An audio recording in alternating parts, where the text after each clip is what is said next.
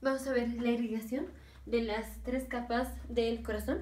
Esto va a ser importante porque en el siguiente video vamos a ver esto mismo, la irrigación de las capas del corazón, pero viendo qué pasa cuando tenemos obstrucción de las arterias coronarias. Entonces empezamos poniendo el corazón. Aquí está el corazón. Y ya sabemos que el corazón está rodeado por el pericardio. Pero digamos que el corazón tiene tres, tres capas. Entonces, esta va a ser la primera capa, que es el endocardio. Y el endocardio va a ser la, es como si fuera el endotelio del corazón. Va a ser la parte del corazón que está en contacto, en contacto con la sangre. Luego vamos a tener la siguiente capa, que ya es literal el músculo, o sea, esta capa de aquí, el músculo, músculo cardíaco. Y esta capa es el miocardio. Miocardio. Y luego vamos a tener otra capa que va a ser el pericardio. El pericardio visceral. Entonces aquí. Así. Así. Y así. Este es el pericardio visceral. Ya sabemos que tenemos dos capas de pericardio. Uno es el pericardio visceral, otro es el pericardio parietal. Pero ahorita no nos importa el pericardio parietal solo queremos las tres capas del corazón, que es el endocardio, miocardio y pericardio. El pericardio visceral, pericardio visceral, también se llama epicardio. Epicardio. Entonces así tenemos las tres capas del corazón. Obviamente la primera capa que es el, el endotelio, o sea, el endocardio, esta capa es muy delgada. La siguiente capa, que es el miocardio, esta capa es una capa muy gruesa, esta es una capa muy gruesa, o sea, todo esto, el miocardio, pues esto es el músculo, el músculo cardíaco. Así. Y la siguiente capa es tejido conectivo, tejido conectivo, que es el epicardio. Epicardio. Así. Entonces voy a poner un, vaso para, para contrastar las capas del corazón. Entonces aquí está un vaso sanguíneo, esa es una arteria, y aquí están las células endoteliales. Y ya sabemos que el corazón, que, que las arterias tienen tres capas. Tres capas. Las tres capas es la íntima, la íntima, esta es la íntima. Esta capa que está aquí es la íntima. Y la íntima está compuesta por estas células que son las células endoteliales. Células endoteliales. La siguiente capa es la media. Media. Y la media está compuesta de músculo liso. Esta es la media. Media. Y después de la media está la siguiente capa, que es tejido conectivo. Tejido conectivo. Y esta es la adventicia. Adventicia. esta capa es la adventicia. Vamos a contrastar las capas de la pared de la arteria, o sea, toda esta es una arteria. Así está la arteria y aquí fluye la sangre. La pared de la arteria tiene tres capas, la íntima, la media y la adventicia. El corazón tiene tres capas, el endocardio, miocardio y epicardio o pericardio visceral. Entonces es como si el corazón, ya sabemos que al corazón le llegan las venas cavas. Entonces, esta es la vena cava inferior, esta es la vena cava superior, la vena cava superior. Y vamos a imaginarnos el corazón como que es un vaso, un vaso muy, muy, muy grande que lo deformamos y que lo agrandamos. O sea, aquí está el vaso, esta es la, vena cava superior. Vena cava superior y aquí está la vena cava inferior. Vamos a unir, digamos, vamos a unir los dos vasos, pero sin que esté la aurícula derecha. Entonces, ahorita van a ver a lo que me refiero. Aquí tenemos la vena cava inferior y aquí tenemos la vena cava superior. La vena cava superior. Así. Digamos que pudiéramos unir los vasos así. Vena cava inferior, vena cava inferior con la vena cava superior. Vena cava superior. Aquí está la vena cava inferior, aquí está la vena cava superior, vena cava inferior y vena cava superior. Y aquí están unidas.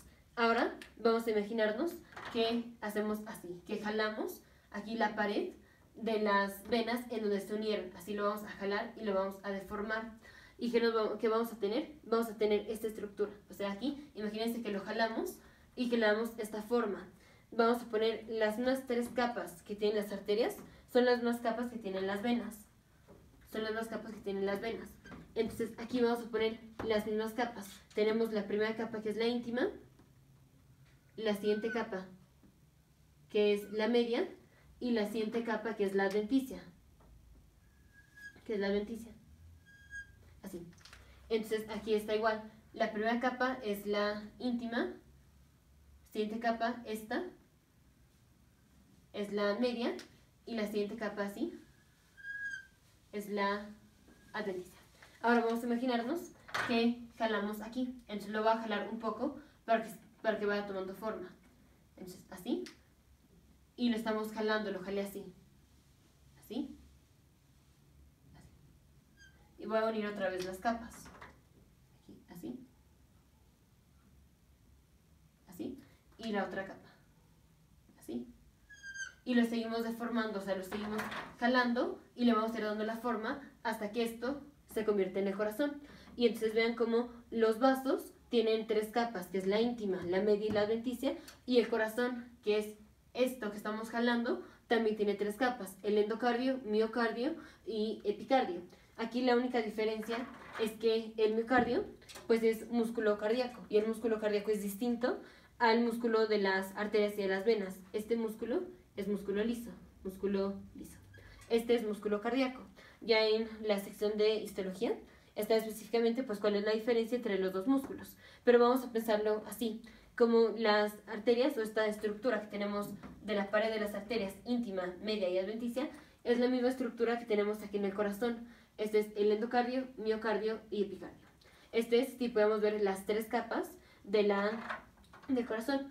Pero cuando tenemos, cuando estamos viendo un corazón, pues estamos viendo la superficie del corazón. O sea, solo estamos viendo la última capa. Este corazón y lo estamos viendo así. esta capa que estoy poniendo es la última capa, que es esta de aquí, el pericardio visceral o el epicardio. Digamos, tenemos el corazón y vean, lo que estamos viendo es la superficie. Pero si podemos cortar el corazón, veríamos el grosor de la pared, que son las tres capas. Y entonces vamos a ejemplificarlo así. Digamos, esto va a ser el corazón visto superficialmente, visto por fuera.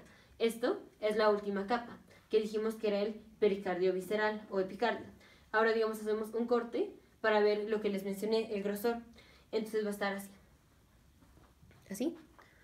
Entonces, espero se alcance a ver. Tenemos tres capas. La primera capa es esta, que va a ser el endocardio. La siguiente capa es la azul, esta, que es el miocardio. Y la siguiente capa es esta, que es el pericardio visceral o el epicardio. Entonces tenemos esta misma estructura que teníamos aquí, solo que puse el corazón, así lo estamos viendo superficialmente, hacemos un corte y ya lo vemos así y tenemos las mismas capas, endocardio, miocardio y pericardio.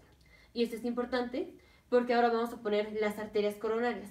No vamos a especificar mucho cómo está la anatomía de las arterias coronarias, esto ya lo vimos en la sección de anatomía cardiovascular, pero aquí lo importante es ver cómo va a estar la irrigación a las tres capas a las tres capas del corazón.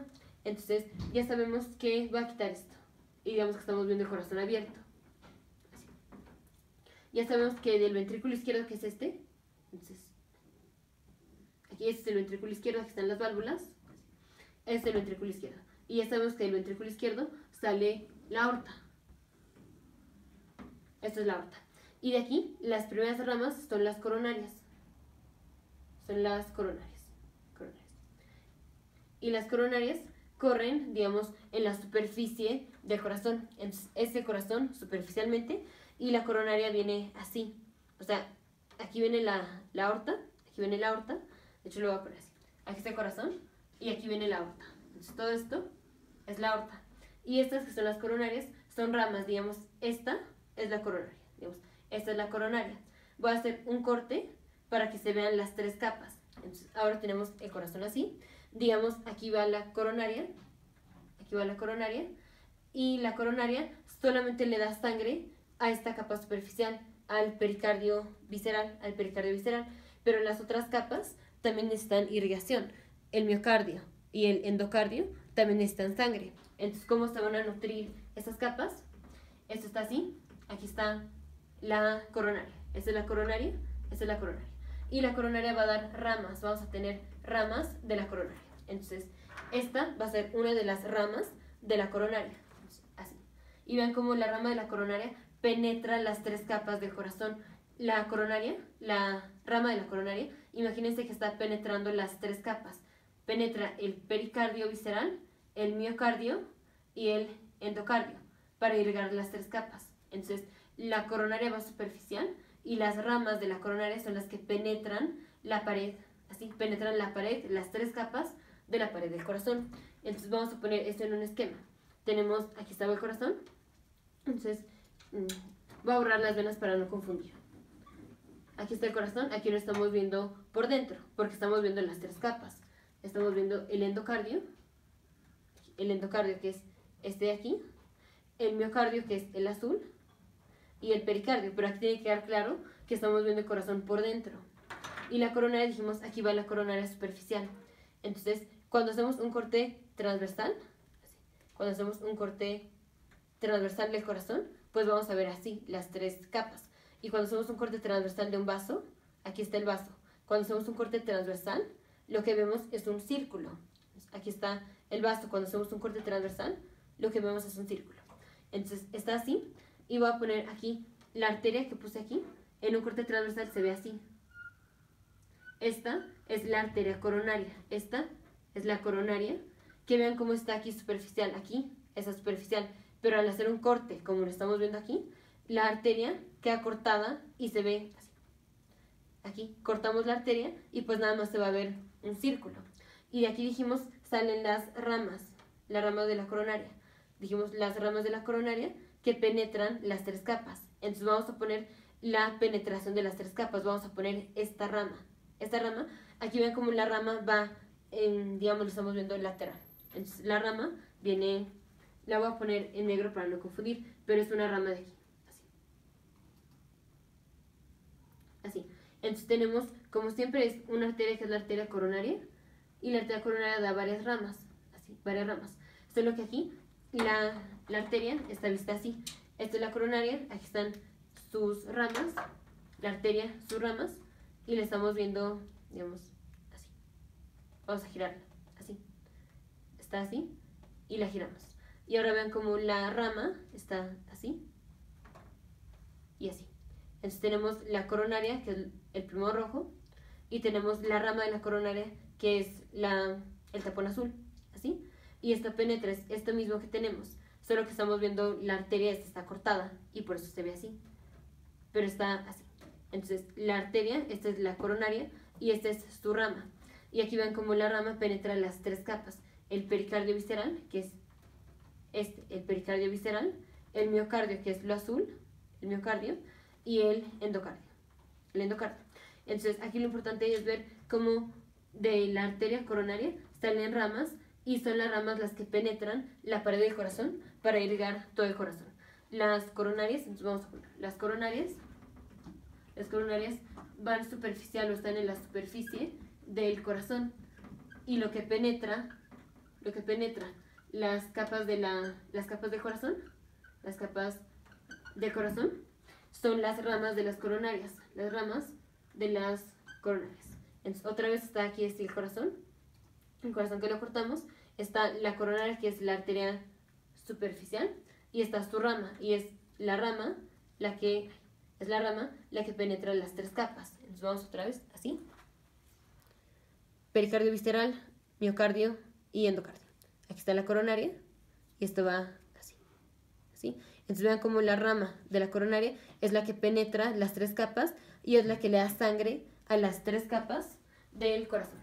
Obviamente si se ocluye la coronaria, entonces no le va a a las ramas y entonces va a sufrir el corazón. ¿Cuál es la primera parte que va a sufrir? La primera parte que va a sufrir es la parte del corazón que esté más, más distal al, al suplemento de sangre.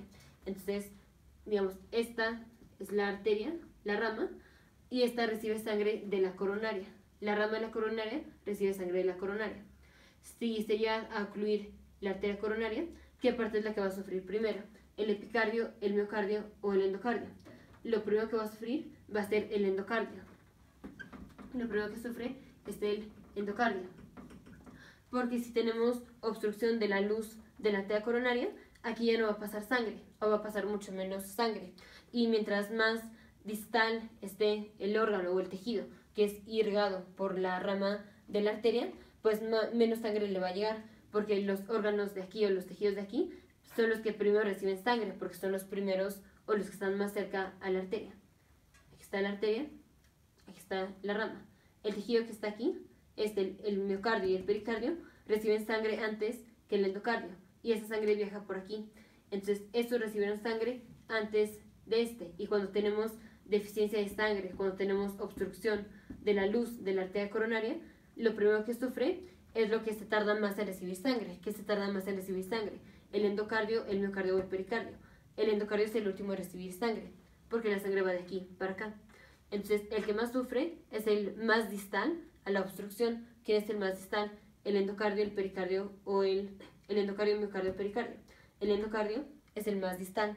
Entonces, el endocardio es lo primero que sufre, es lo primero que sufre cuando tenemos, cuando tenemos una obstrucción de la arteria coronaria. Por eso cuando tenemos una angina estable, lo primero que sufre es el endocardio y esto se ve como una depresión del ST. Cuando tenemos un infarto total, o sea que se ocluye toda la luz, pues van a sufrir las tres capas, ya no es nada más el endocardio, sino las tres capas. Y esto se ve como un ST elevado. Pero esto lo vemos más adelante en la sección. Nos vemos en el siguiente video de futuros médicos, científicos, ingenieros.